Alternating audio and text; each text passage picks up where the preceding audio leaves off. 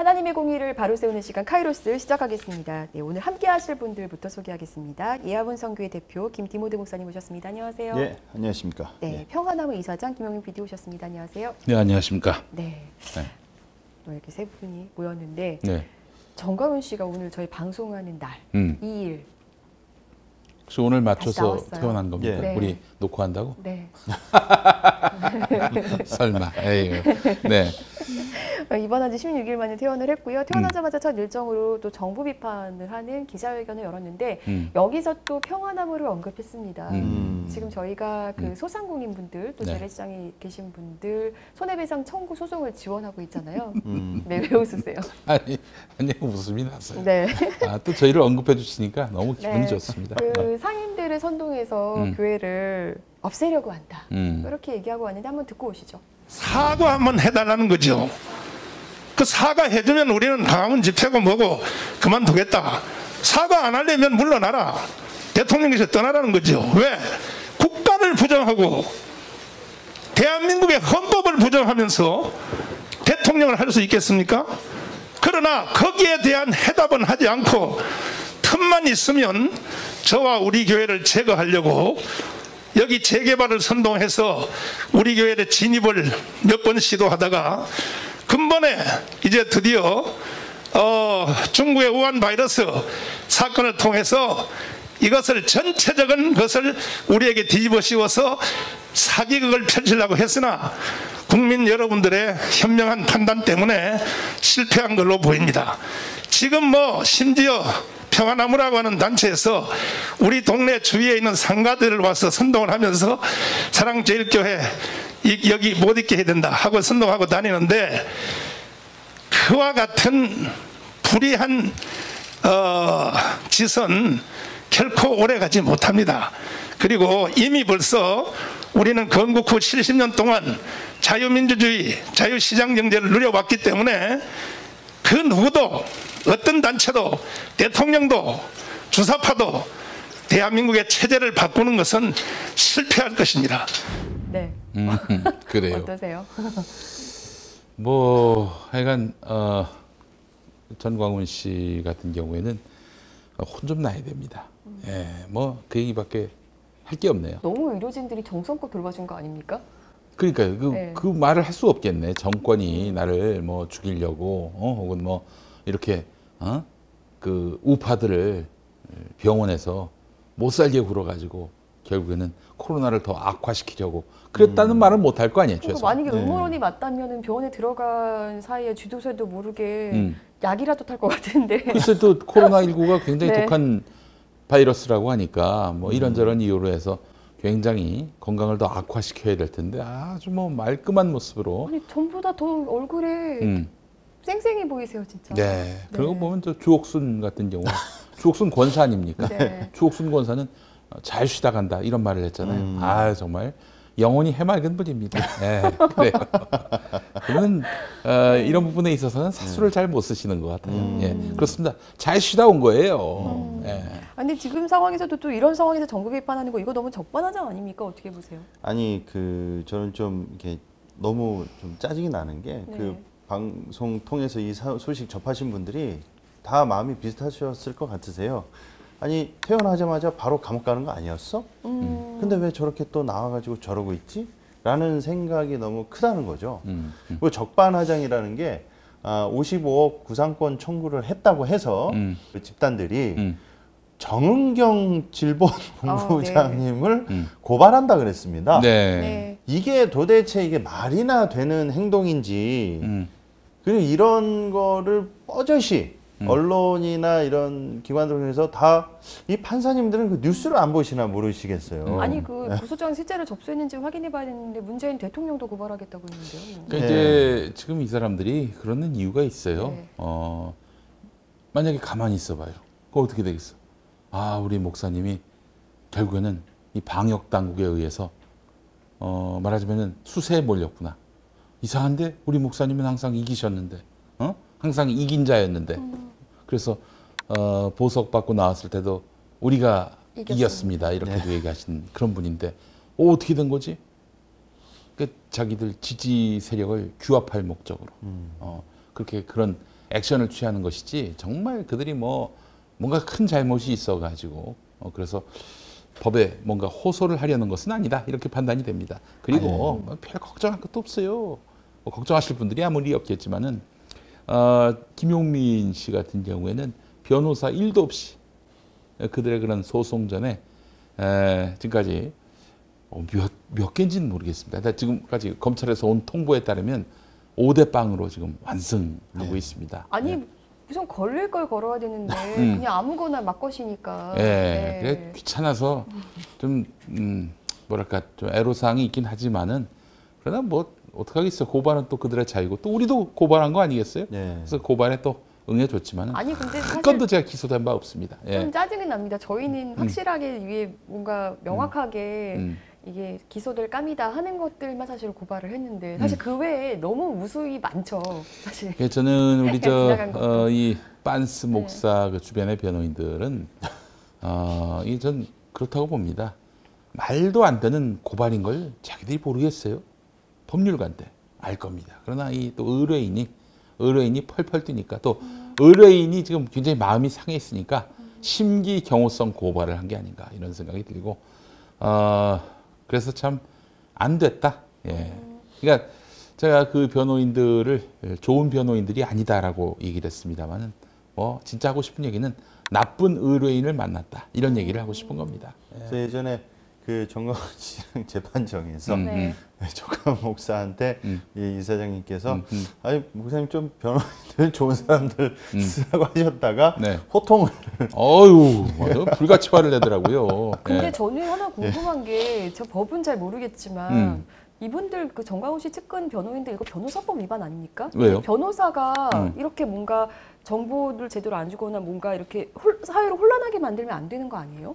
아니 뭐 그런 걸 그분들한테 기대한다는 것 자체가 난세습니다. 예. 그러니까 뭐 네. 자기 의뢰인에 네. 대해서 보호해주고 그런 발언을 할 수는 있는데 음. 나름 법리에 맞게 그것도. 음. 근데 지금 이, 이 상황은 너무 지금 뭐 말도 안 되는 말을 변호사가 하면 뭐 이거 변호사 시장이 지금 포화 상태고 무한 경쟁 아, 시대라서 그런 것이다. 저는 이렇게 생각을 하고요. 뭐 비단 빤스 변호인뿐입니까? 아, 김재련 변호사만 봐도 아 이거 뭐 변호사 업계가 참 아, 무한한 그런 아, 경쟁 상황에 그 지금 처해 있구나라는 걸 알수 있는 거 아니겠어요? 뭐라도 해야 돼. 어? 비난을 받든 뭐 비아냥을 받든 뭐라도 해야 되는 이런 참 비루한 현실을 반영하고 있는 게 아닌가 하는 생각을 해봤습니다. 진짜 예. 그렇게까지도 좀 생각이 드네요. 음. 얼마나 지금 먹고 살기가 어려우면 글쎄 네. 말이야. 네, 예. 이런 생각이 듭니다. 예. 네, 저희가 일단 앞서도 설명해드렸지만 음. 주변 소상공인들과 재래시장 상인들이 이제 정광훈 씨와 사랑제일교회를 상대로 손해배상 청구를 진행하게 되고 평화나무가 음. 적극적으로 여기서 이렇게 지원하게 되는데 저희 돈이 있나요?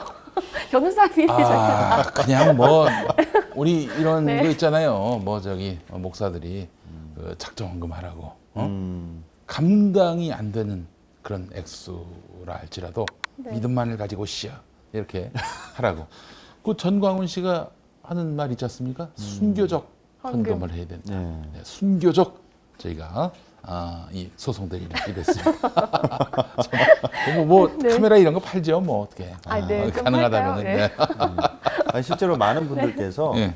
이 평안나무에서 이렇게 해주시는 거 보고 음. 정말 이 개신교 단체가 다 음. 썩은 줄 알았는데 이런 귀한 단체가 있구나 하면서 많이 위로가 되고 아, 예.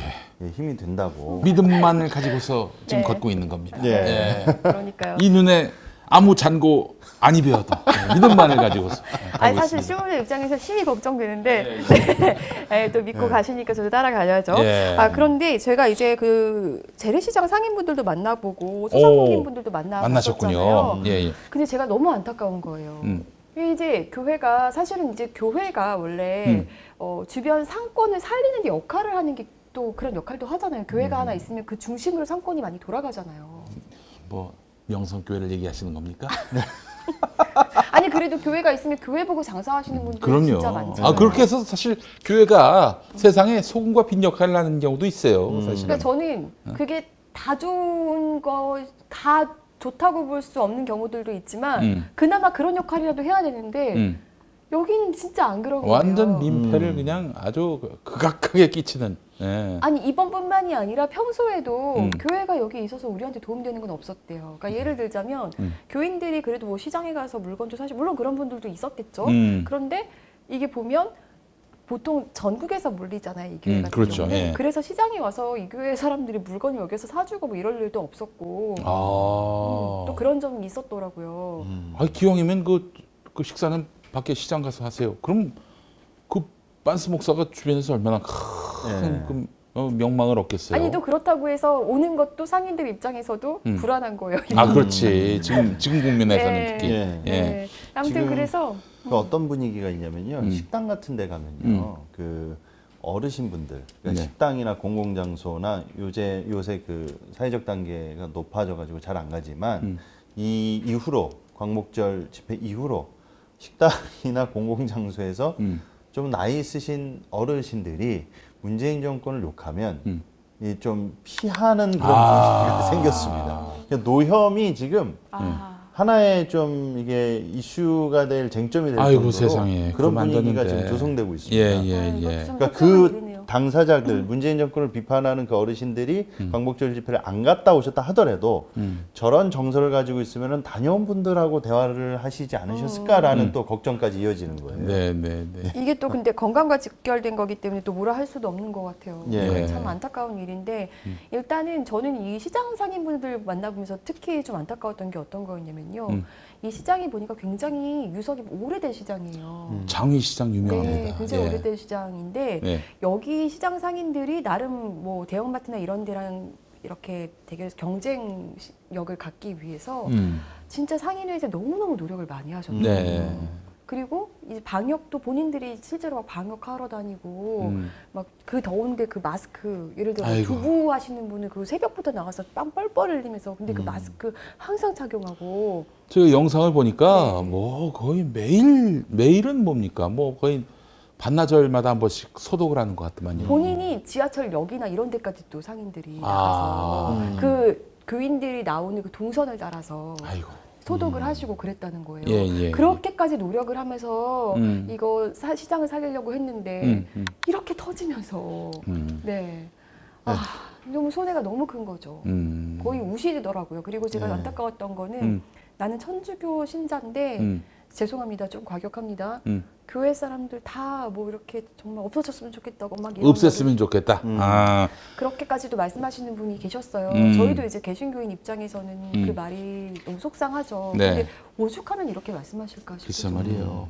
일단 장위 시장은 오래된 시장이라고 말씀하셨는데 서민들의 애환과 아, 또한 여러 가지 또 정치 에, 이런 것들이 묻어 있는 공간인데 아 이젠 혐오의 공간이 됐어요. 그러니까요. 그 사랑제일교회의 그 인근에 있다는 이유만으로 음. 아참 너무 안타깝고 그리고 반찬, 뭐 생물 이런 거 파시는 분들은 안 팔리니까 다 버려야 되고. 네. 아 생선 이런 거. 네, 음. 그것도 아이고. 반찬 가게 이런 데들로 반찬 예. 만들어 그 힘들게 만들어 가지고 음. 다 버려야 되고 막 음. 이런 상황들이 있는 거죠. 너무 속상합니다. 아 이거 안 되겠네. 장위시장 가서 무슨 저기 먹방을 하든지 해야 될 것 같아요. 예, 그렇지 않고서는 음. 그분들한테 아, 아니 뭐 개신교회가 어?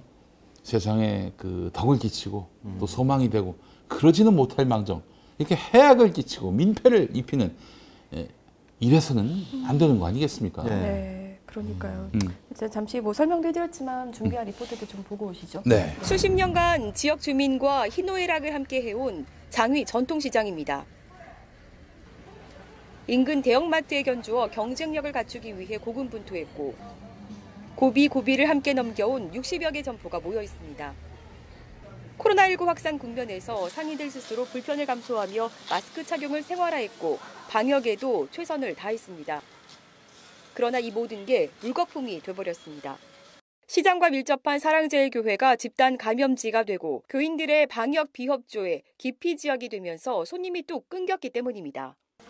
정부에서 그나마 재난지원금을 줘가지고 근근히 이렇게 상인들이 조금씩 유지를 해갔었는데 갑자기 또 이 주위에 교회라든가 뭐 이런 데서 갑자기 코로나가 확산되는 바람에 그 전보다 한 10분의 1로 손님이 확 줄어들어 버렸어요. 그래서 지금 그잖아. 여러 사람 다 죽이는 거야 여기 시장 사람.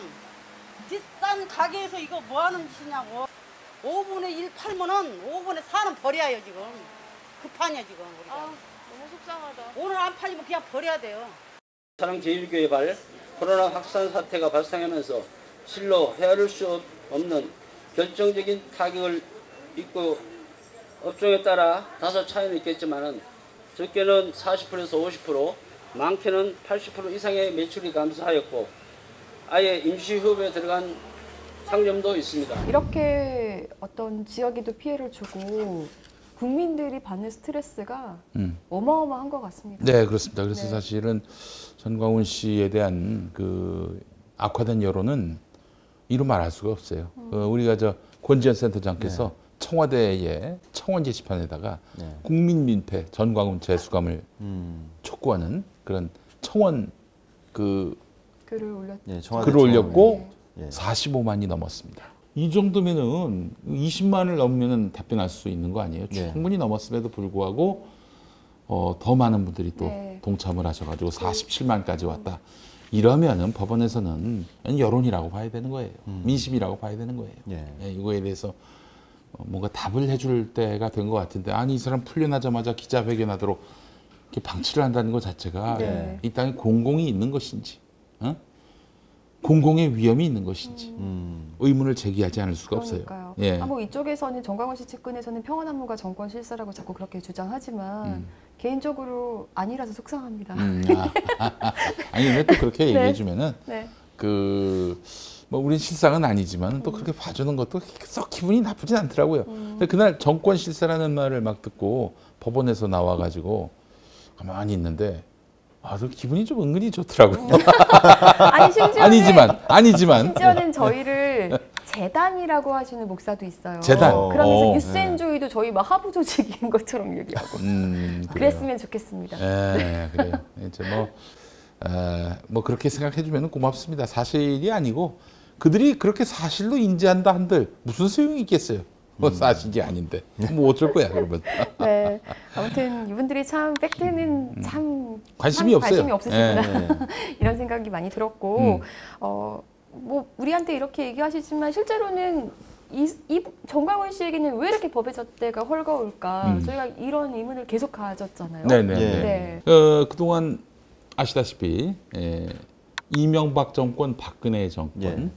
어, 이 기간 동안에 아, 여당의 스피커 역할을 했죠. 음. 예. 어, 이명박 장로님 음, 대통령 선거에 나오는데 찍어야 한다. 안 찍으면은 내가 생명책에서 지워버리겠다. 예. 이런 말도 했고요. 박근혜는 종교가 다르지만 내내 뭐 우파의 지도자로서 음. 어, 박근혜를 밀어주고 띄워주고 키워주고 세워주고 어, 지탱해 줬습니다. 황교안 대통령 만들기에도 나섰고요. 네, 황교안하고 친한 관계를 유지하다가 아, 아마 그 2019년 말에 음, 뭐 하여튼 어, 터무니없는 극우 집회를 열고 당내에서는 이러다가 그 총선에서 완벽하게 중도 네. 합리적 그리고 이성적 유권자로부터 버림받을 것이다라는 목소리가 제기되니까 아차했나 봐요. 네. 늦었지 이미. 그쵸. 그래서 이제 12월 말쯤에 전광훈한테 연락을 했나 봐 황교안 측에서 네. 결별하겠다고. 음. 그러니까 내일은 팔지 말라는 얘기지 한마디로. 12월 31일자 빤스의 유튜브 방송 보면은 황교안 대표가 전화가 왔다. 한 3일 전에. 어? 그래서 결별하겠다고. 막 그러면서 막 성토하고 막 배신감을 표출하고 그랬어요. 근데 그래 그러해 놓고도 그 올해 2월에 뭐 자유통일당 창당 대회 할때 음. 또 황교안 장로 이름으로 또 화환도 가고 아, 화환이야 올 수 있지. 화환이 무슨 의미가 있어요? 어? 근데 이제 1월 30일 날에 그 이듬해, 그러니까 올해 1월 30일 날에는 자유한국당에 대해서 어, 비난하는 그 선거에서 자유한국당 찍지 말라는 식의 그런 발언을 했고 자기가 만드는 당 찍어라 이렇게 얘기했다가 어, 선거법 위반으로 해가지고 어, 녹화하는 오늘 기소 의견으로 예. 경찰이 검찰에다가 송치를 했습니다. 예. 검찰 지휘를 받고 수사를 했을 테니 뭐 당연히 어, 기소가 될 것 같은데요. 기소가 되면 또 별건으로 또 선거법 위반 재판을 받아야 되는 처지가 됐습니다. 그래서 열받았을 거야 빤스 목사가. 어? 그러니까 평화나무를 막 들먹이면서 흥분했을 텐데 나왔는데 나오자마자 선물이 너무 많아. 예, 평화나무의 조촐한 선물이었습니다. 예, 마음에 너무- 드실지는 모르겠습니다만은. 네. 너무 좀 비교가 되는 것 같습니다. 네. 누차 말씀드리지만 어, 예전에 박근혜 정권 때 한상균 전 그 민주노총 위원장. 위원장님이 어떻게 됐습니까? 감옥에 너무 오래 계셨어요. 음. 예. 근데 정강훈 목사는 그 청와대 진격하자고 그리고 네. 또 무슨 뭐 앞에 사모들부터 음. 2018년부터 그런 얘기를 했죠. 예. 이제 보니까 이 문재인이가 힘이 좀 빠진 것 같고 이제 곧 기어 내려올 준비를 하는 것 같아요.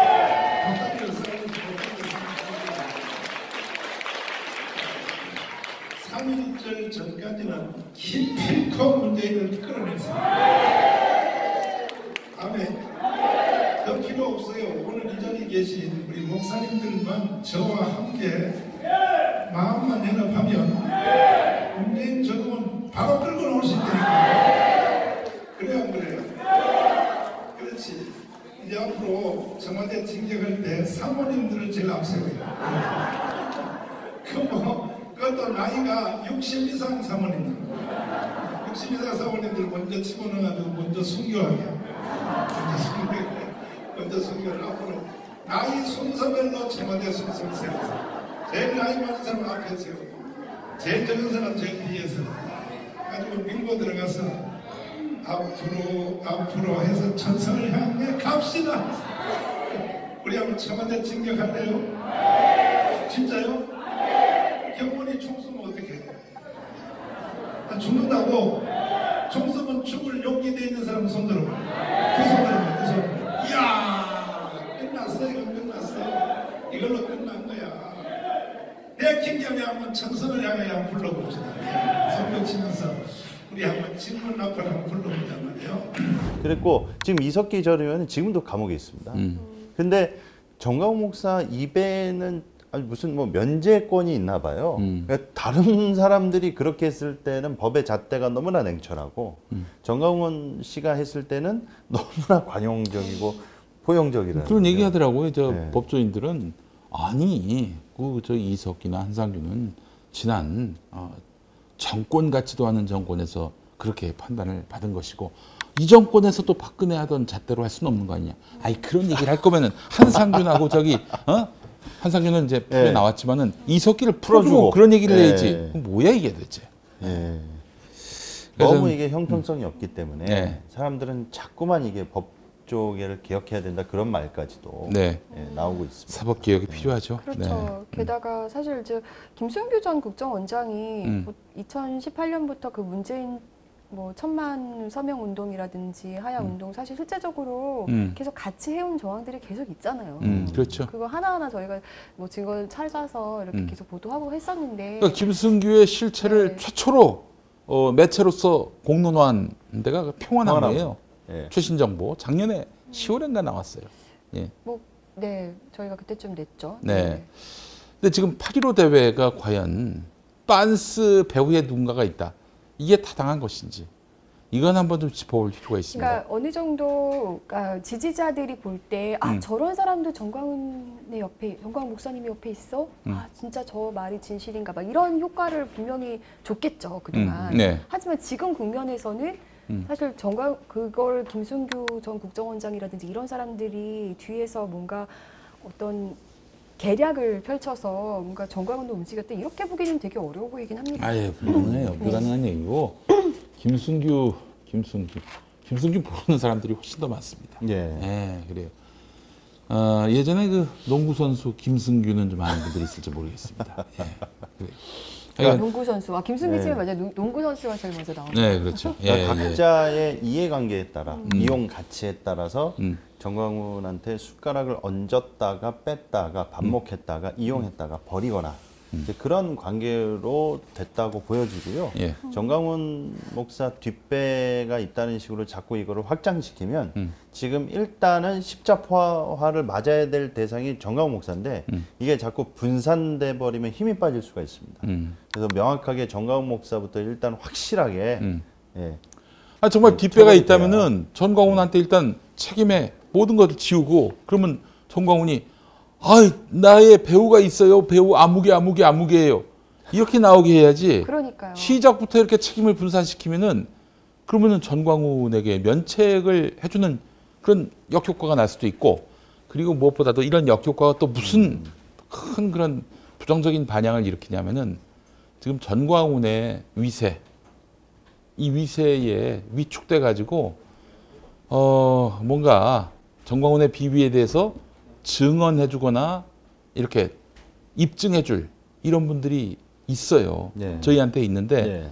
이분들이 두려워하는 거야. 맞아요. 무슨 해코지를 당할까 봐. 더 큰 세력이 있지 않겠는가. 그러니까 정광훈에 대해서 우리가 무슨 없는 죄를 만들어서 네. 뒤집어 씌우자 이게 아니라 있는 죄에 대해서 아주 엄중하게 책임을 물어가지고 아 음. 법 아래에 에, 전광훈이 있구나. 그렇죠. 라는 분명한 교훈을 심어줘야 예. 그래야 그 피해자들 혹은 뭐 입증해줄 증인들이 목소리를 낼 수 있다고요. 그래야 네. 지금 그런데 그렇게 못하게 음. 책임을 분산시키고 희석시키는 이런 일들은 전혀 사태에 도움이 되지 않습니다.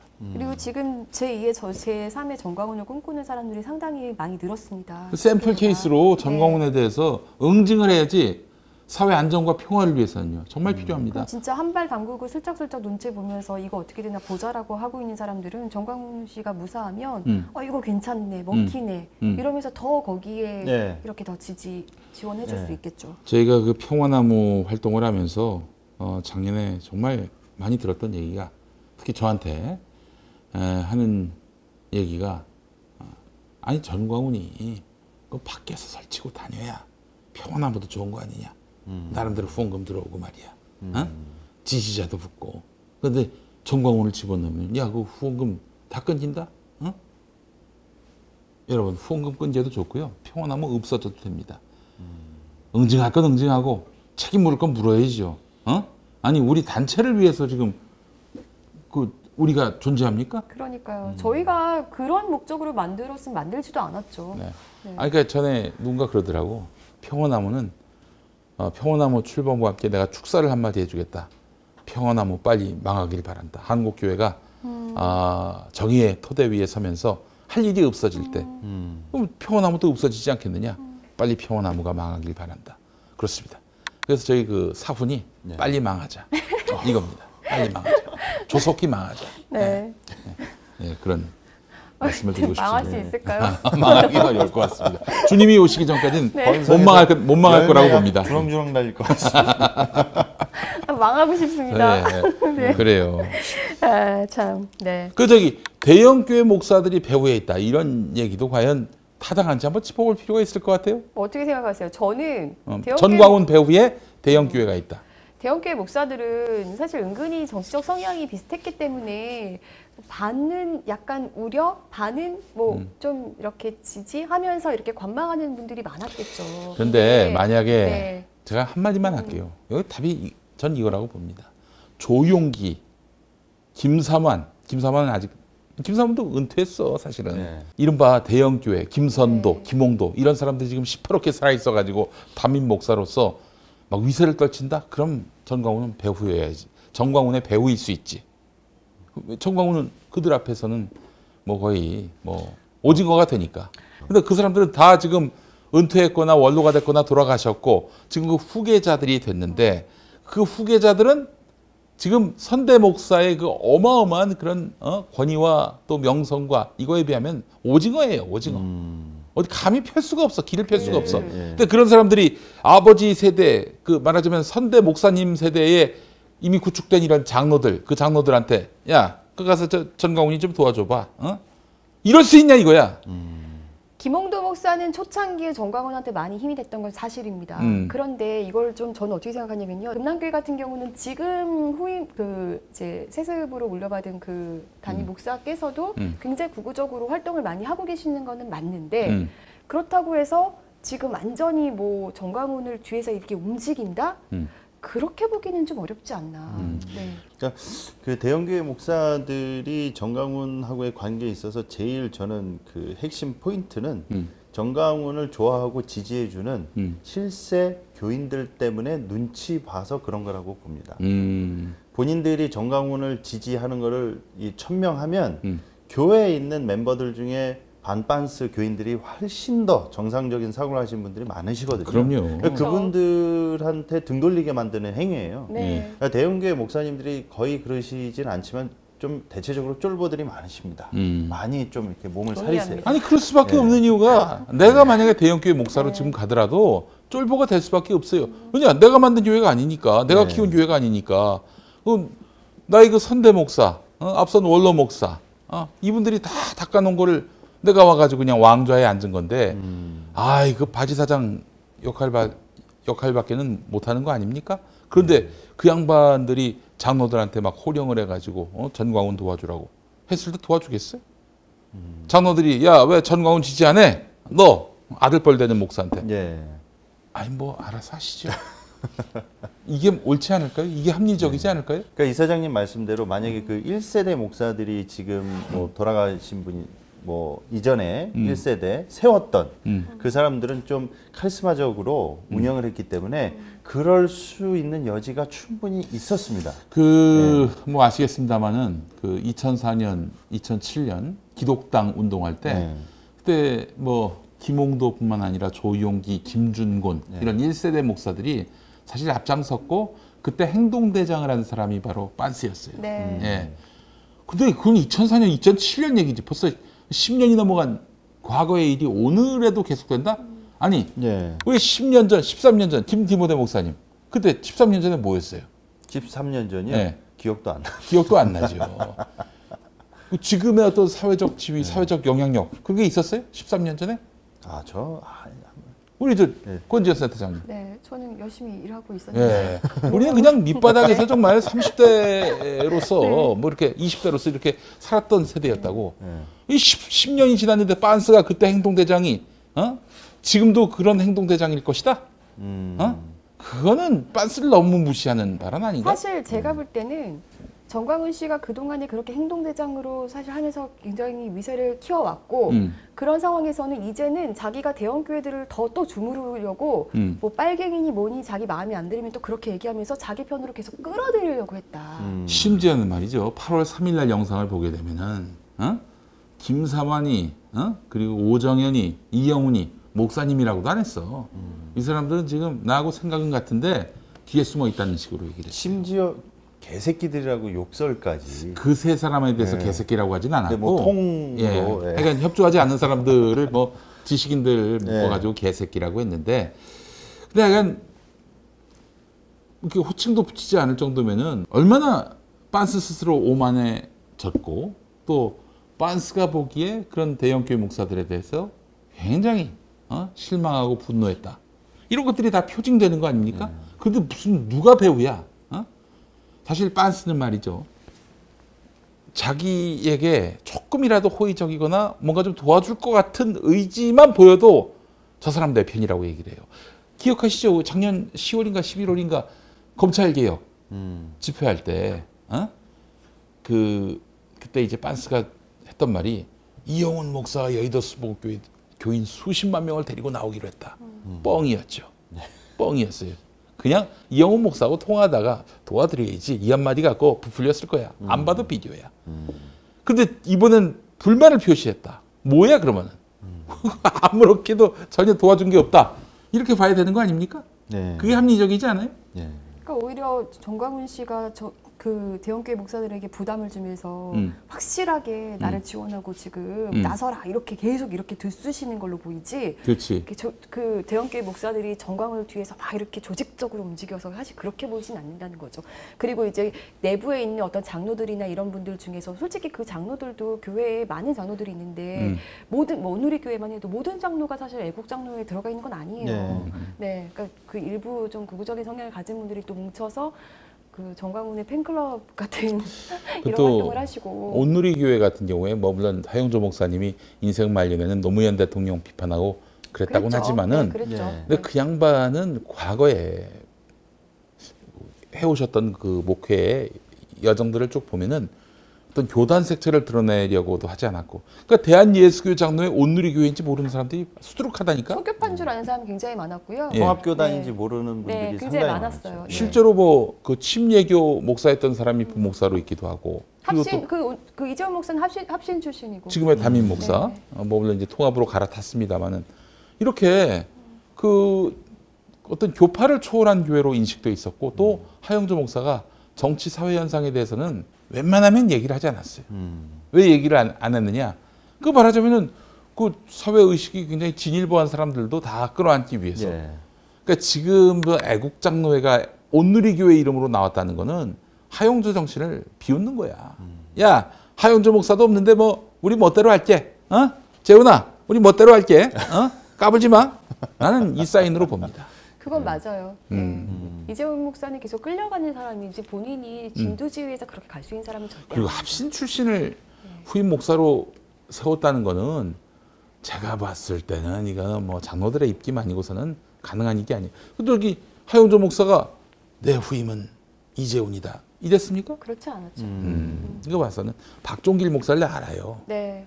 아, 뭐 친한 사이는 전혀 아닌데 그 예전에 무슨 저 생명의 삶 이런 방송에서 많이 나오신 분인데 되게 울보 목사님으로 유명하죠. 그 양반이 차라리 하용조 목사고 하용조 목사의 선한 면을 많이 닮아 있는 것 같아. 그건 맞아요. 네. 근데 이제 이재훈이라는 이재훈하고 내가 좀 악연이 있습니다. 음. 예전에 저, 저 CBS에서 작가도 했었거든요. 음. 그 저기 기독교 TV에서 잘 잘린 이후였나 뭐 하여튼 그, 그 동방송에서 잘린 이후였나 하여튼 그때 이제 했었는데 조용 아 이제 하용조 목사가 지점을 냈어.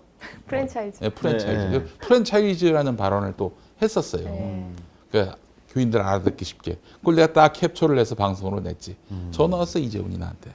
악의적이다. 아 악의적이라고 했나? 악랄하다고 했나? 하여튼 내가 나한테 전화해가지고 그런 말을 해서 이재훈을 잊지 않습니다. 사실 음. 좀 이렇게 배포가 크신 분은 아니에요. 네. 그렇기 때문에 그런 일을 앞장서서 저지를 수 있는 분은 아닙니다. 그리고 또 음. 그렇게 네. 전화를 해가지고 언론사한테 악랄하다라고 얘기하는 이 정도 배짱은 참 어디서 나온 배짱일까? 난 좀 그런 그때 식의 행동은 이 사장님한테만 한 게 아니거든요. 누구한테도 했습니까? 뭐 방송 끝나고 연락. 알겠습니다. 예. 아니 우리 권 센터장님께서 직접 어, 대면하시지 않으셨어요? 저한테 번호도 음. 거짓으로 알려주신 것 같아요. 연락이 안 돼요. 연락이 안 돼요. 알겠습니다.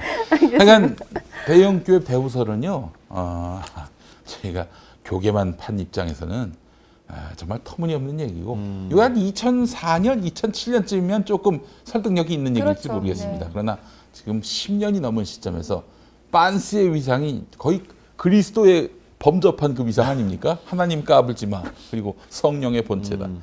이런 와중에 뭐 누구의 뭐 저기 어? 돌격대장? 행동대장? 아닙니다. 그는 좀 아, 너무 업데이트가 안된 음, 그런 정보에 에, 기초한 그런 판단이 아닌가 싶습니다. 그래서 이 사안을 제대로 보고 정광훈 씨에게 제대로 죄의 대가를 음. 적법한 절차를 거쳐서 좀 제대로 치르게 해야 정말 다시는 이런 일이 음. 일어나지 않을 수 있다. 그렇습니다. 네, 이렇게 저희는 보고 있고 네. 네, 움직이고 있습니다. 아우, 너무 스트레스가 커요. 음. 네, 이제 좀 그만 막말 진짜 그만 듣고 싶고요. 음. 이제 뭐 피해를 호소하시는 분 가족 우리 집에 지금 정광훈 씨 때문에 가정이 너무 불화해요. 막 이런 거 얘기 진짜 그만 듣고 싶습니다. 음. 네. 그 가장 최근에 음. 그 지인 중에 그 부모님께서 어, 광복절 날 그 집회를 갔다 오신 분 중에 정말 말도 안 되는 허무맹랑한 음. 이야기들 때문에 곤욕을 치르고 있다고 합니다. 음. 부모님들께서 뭐라 그러시냐면 광복절 집회 때 이렇게 음. 뿌연 연기가 음. 공중에 있었는데 음. 최루탄에다가 코로나 액을 섞어 가지고 풀었다라고 거기서 이제 퍼뜨리고 있나 봐요. 가짜 뉴스 카톡방에서 엄청 많이 예, 근데 얘기예요. 그거를 팩트로 믿어가지고 음. 예, 자녀들한테 이 나라 정부가 이런 식으로 한다라고 했는데 이게 이제 말도 안 되니까 혹시 저 전광훈이 내뿜은 코로나 바이러스 아닐까요?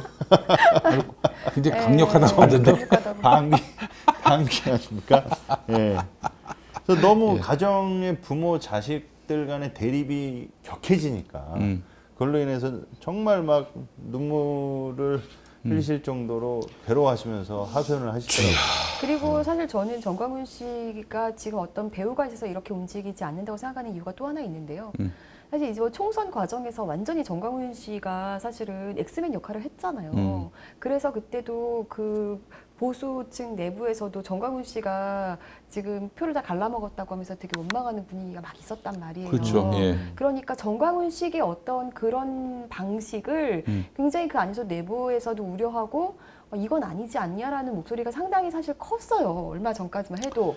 그런데 음. 이거를 광장에서 뭔가를 해야겠고 그런데 나서는 사람 없고 하니까 정광훈 씨는 더 자기만의 방식으로 그런 것들을 해- 했고 사람들을 이렇게 모은 어떤 정황들이 보인단 말이죠. 뭐 미래통합당이 뭐 배후에 있다 이런 얘기도 나옵니다.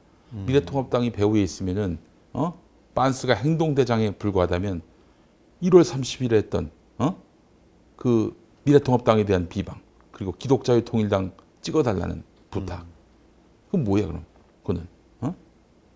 뭐 그런 얘기를 하면 안 되지 몇몇 행동대장이라면 의원들이 그 이후에도 계속 그 강단 단상에 서고 함께했던 거는 맞아요. 음, 예, 그렇지만 그 당 차원에서 다 함께했다 이렇게 보여지진 않고, 음. 네, 제가 볼 때는 그리고 그때 함께했던 의원들 중에서 지금 의원직을 상실한 분들도 좀 아, 계시고, 의원직, 그 김경욱이나 낙선된 뭐 낙선된 네, 사람들 그런 의원들 네. 말씀하시죠. 음.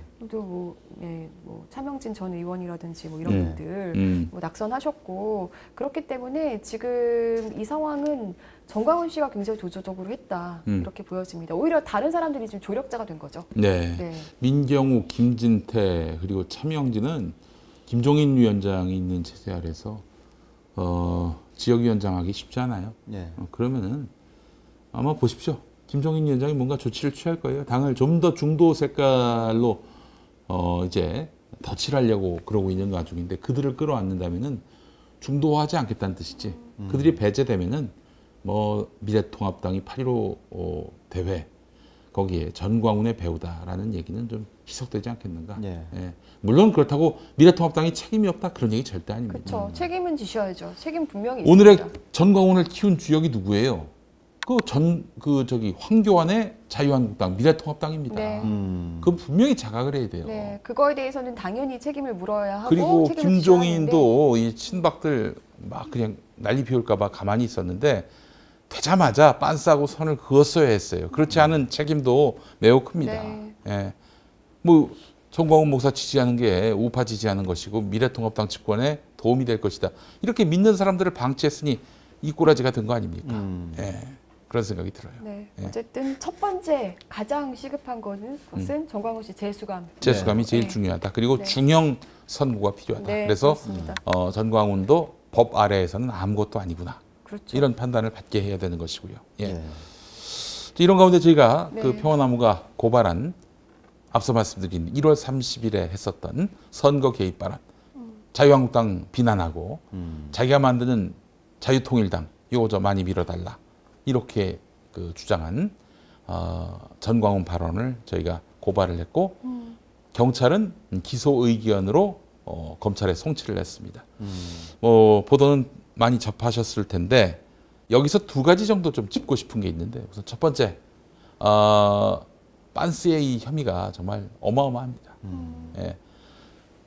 지난 해 작년 10월에 빤스는 음, 대선 때 선거 개입한 혐의로 해가지고 어, 선거법 위반 유죄 확정 판결을 네. 받았고 징역형이었어요. 네. 집행유예였지만은 네. 근데 만약에 이 집행유예 기간에 또 같은 범죄를 저지르면 중형을 선고받게 돼 있는 판결을 받았는데 그로부터 그로부터 두 달 동안 어마어마한 또 선거법 위반을 했었고 그래서 1월 2일 날 예, 구속영장 실질 심사를 받았고 뭐 저희는 납득할 수 없지만은 바로 또 이제 아, 구속영장이 기각이 됐습니다. 예. 그러나 또 끝내 2월에 구속이 됐죠. 음. 자, 1월 2일 날 한번 구속 위기를 맞았어요.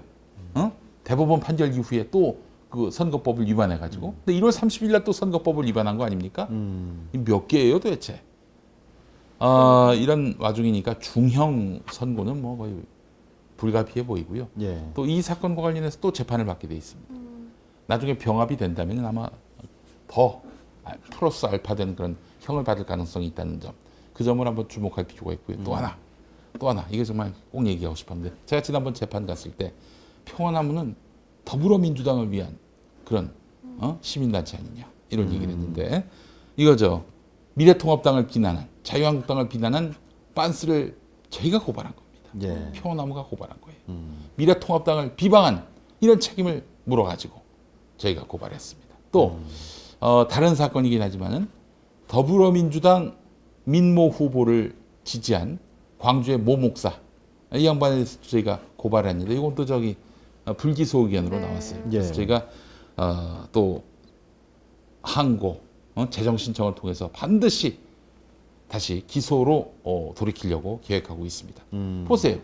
평화나무가 무슨 더불어민주당의 이익을 위해서 그동안 활동을 했습니까? 공명선거 활동을 했어요? 아닙니다. 우리 저희는 걸리면 다 겁니다. 예. 안 걸렸다 뿐이지 걸렸으면 다 고발해요 우리는. 음. 그러니까 이런 거에 대해서 더 이상 빤스 변호사들은 아, 오판하지 말길 바라겠습니다. 예. 그런 얘기 하고 싶었어요. 네. 예. 아니 오히려 근데 진짜 한국 교회가 보수 쪽이 많으시니까 음.